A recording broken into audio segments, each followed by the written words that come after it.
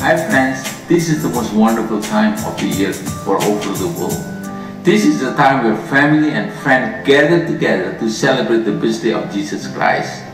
As senior pastor of the Indonesian Christian Church of Canada, I believe that church is a family community that rooted in Christ to be a blessing not only to one another, but at your workplace, and maybe at your school, and its city of Toronto, and Canada, and the world. Our theme for this Christmas celebration is Grateful Heart.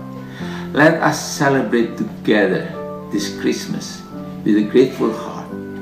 Merry Christmas and Happy New Year. God bless you.